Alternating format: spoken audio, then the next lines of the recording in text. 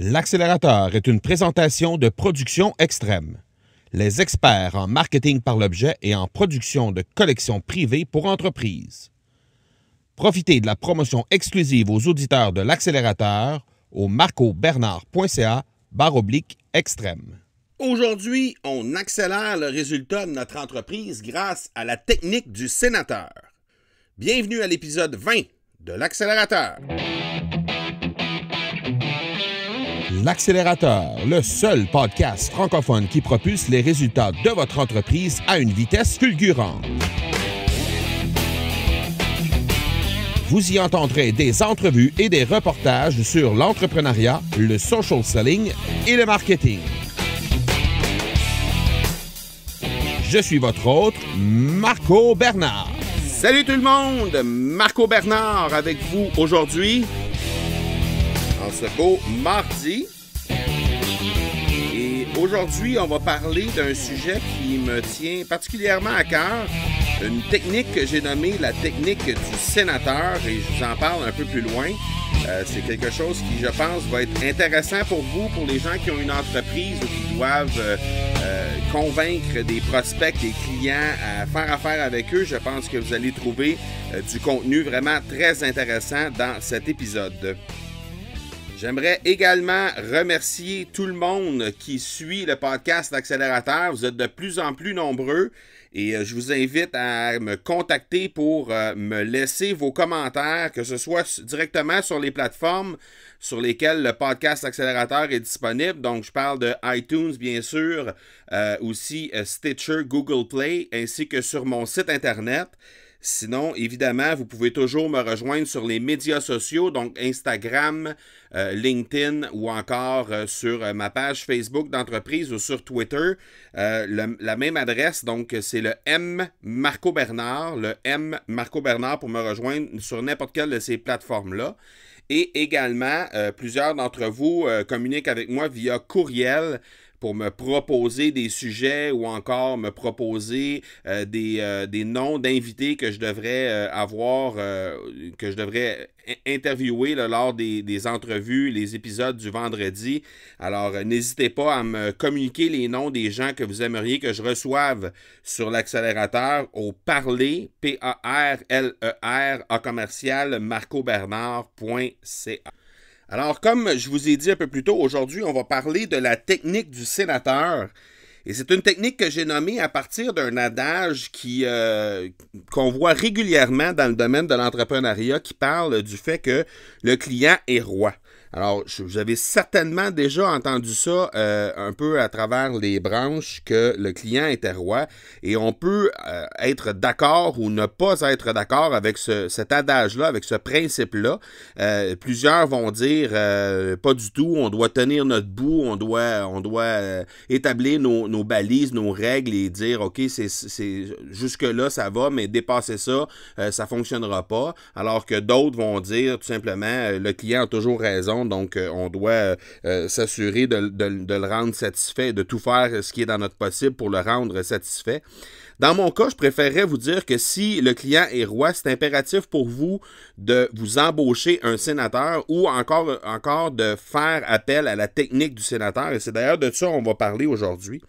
je recule au deuxième ou au troisième siècle avant Jésus-Christ. Donc le sénateur, euh, le, poste de sénateur était très très important au niveau de l'empire romain. Donc le Sénat romain, c'était une institution politique qui était très très forte. Et sans entrer dans un cours d'histoire, parce que de toute façon, j'ai pas les connaissances euh, euh, ni les compétences pour vous, vous livrer un cours d'histoire en rapport avec ça, mais le rôle des sénateurs a été établi par le peuple et ce ce, rôle-là, ce poste-là, était nommé par euh, le roi et le peuple pour faire en sorte que c'était un espèce de tampon entre le roi et euh, le, peuple. Donc, au niveau, que ce soit au niveau législatif, au niveau religieux, financier, politique, le sénateur se servait, dans le fond, à faire une espèce de tampon et à à un peu amener les messages de part et d'autre euh, pour faire en sorte que justement les gens puissent euh, avoir un, accès plus facile au roi euh, via les sénateurs et inversement également que le roi puisse être capable de divulguer l'information vers le peuple le plus adéquatement possible via le réseau des sénateurs, donc le Sénat romain qui avait là. Ça fait aucun doute, le Sénat romain, c'était euh, quelque chose qui était très, très, très important et c'était celui qui vulgarisait, qui transmettait les messages entre le roi et le peuple essentiellement. Et il se devait être, en mesure de parler le langage de, chacun des deux partis. Donc, ce que je veux dire par là, c'est que le, sénateur devait justement, lorsqu'il s'adressait au peuple, devait justement euh, parler le langage, utiliser des mots que le peuple allait comprendre. Et inversement, lorsque le peuple avait des revendications à faire au roi, ben, il devait se retourner vers le roi et lui parler de la bonne façon pour faire en sorte que euh, celui-ci pouvait euh, avoir une oreille attentive aux demandes que le peuple lui formulait. Donc l'idée en arrière de ça, c'était justement de présenter le tout de part et d'autre dans des mots que les gens pouvaient bien comprendre et faire en sorte que les messages résonnaient de la bonne façon dans l'esprit des gens, autant du roi que du peuple. Et euh, l'idée, c'était de faire clairement voir les avantages ainsi que les inconvénients de part et d'autre pour faire en sorte que les gens puissent justement euh, euh, bien se comprendre à travers ça. Dans le cas qui nous occupe, évidemment, au niveau de, de l'entrepreneuriat au sens large, on n'a pas nécessairement un accès ou besoin ou on n'a pas, tu sais, le, le, poste de sénateur ne s'applique pas de façon intégrale. Mais la technique que le sénateur euh, empruntait, lui, pour faire comprendre de part et d'autre son message, ça, c'est quelque chose qu'on peut vraiment utiliser pour faire en sorte qu'on doit justement faire comprendre à notre client toutes les, subtilités et tous les bienfaits du message qu'on veut lui lancer. Donc, il s'agit d'utiliser les bons mots et de la meilleure façon qui soit pour faire en sorte que votre client va bien comprendre ce que vous voulez lui offrir et, qu'il va, être euh, en mesure de bien saisir chacun des détails que vous allez lui, euh, présenter. Le défi que vous avez, c'est de choisir ses mots à lui, ses méthodes à lui, sur ses moyens de communication et non les vôtres. Parce que si vous décidez, par exemple, de communiquer avec un client qui, lui, euh, de son côté, est habitué de communiquer par courriel et c'est son moyen de prédilection, il, est plus à l'aise de cette façon-là, et que vous vous entêtez à essayer de l'appeler pour l'avoir au téléphone, possiblement que vous allez le perdre à cause de ça, parce que lui, dans son cas à lui, son moyen de communication préféré, qu'est-ce qu'il préfère pour euh, faire de la business, c'est le courriel. Donc, il faut apprendre à connaître ses clients et faire en sorte qu'on va se plier de cette façon-là pour être capable de bien faire passer notre message de la meilleure façon qu'il faut. Et là, je vais, vous tout de suite vous, euh, vous diriger vers euh, des articles de blog dans les liens de l'épisode. Je vais mettre des articles de blog sur justement l'établissement d'un persona d'acheteur. Et sur ce persona d'acheteur-là, ce que vous allez devoir réaliser, entre autres, c'est le comportement de vos euh, prospects pour faire en sorte que vous allez être en mesure de vraiment savoir où il va chercher ces informations, de quelle façon il aime communiquer et comment, à quoi ressemble sa réalité à lui pour faire en sorte que vous allez communiquer avec lui de la meilleure façon qui soit. Et là, quand je parle de persona, évidemment, je ne parle pas d'un client en particulier, je parle d'un groupe de, prospects qui va, qui avoir des similarités au niveau euh, des particularités, par exemple, de, communication ou euh, dans les méthodes qu'ils vont utiliser ou dans les mots qu'ils vont utiliser. Mais il reste que euh, de cette façon-là, vous allez être en mesure de uniformiser un peu le message tout en étant très, très précis dans votre façon de vous adresser à votre clientèle, à, vos prospects, pour faire en sorte que ces gens-là vont bien comprendre qu'est-ce que vous allez euh, vouloir leur communiquer. Euh, vous avez juste à penser, si, je vais vous donner un exemple de l'inverse, en fait, de qu'est-ce que, qu'est-ce que je suis en train de dire. C'est que vous avez juste à penser, euh, par exemple, au niveau des télécoms, au niveau de l'électronique, de l'automobile, combien de fois vous rencontrez un, commerçant ou un représentant de, ce, de de ces trois secteurs-là et qui vous parle dans un, jargon technique tellement incompréhensible pour vous que vous devez lui demander de répéter ou d'expliquer de façon différente. Et dans bien des cas, ils ne sont pas en mesure de le faire. Donc ça, c'est la pire chose parce que si vous vous faites expliquer quelque chose et qu'en bout de ligne, vous n'avez pas nécessairement plus compris la deuxième fois que la personne essaie de vous l'expliquer, eh bien, évidemment, la personne qui, est devant vous va perdre des points et euh, probablement va perdre la vente également parce qu'elle n'est pas en mesure de vous expliquer clairement, dans vos mots à vous, qu'est-ce que ça représente euh, le message qu'il veut, vous, faire passer.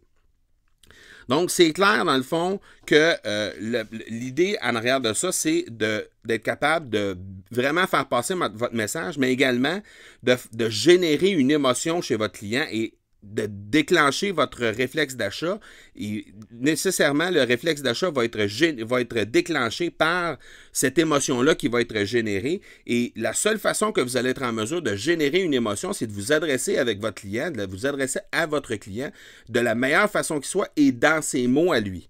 Donc, vous devez euh, le convaincre que votre solution, votre offre, votre, votre, euh, la, chose que vous voulez communiquer avec lui va rendre son monde meilleur. Euh, afin de bâtir une relation émotionnelle durable avec votre clientèle, vous devez connaître quelle est la perception d'un monde idéal pour lui. L'important, c'est d'être en mesure de saisir comme il faut qu'est-ce que cette personne-là recherche vraiment et parallèlement à ça, quel est le pire de ses cauchemars? Ça serait quoi le pire des scénarios?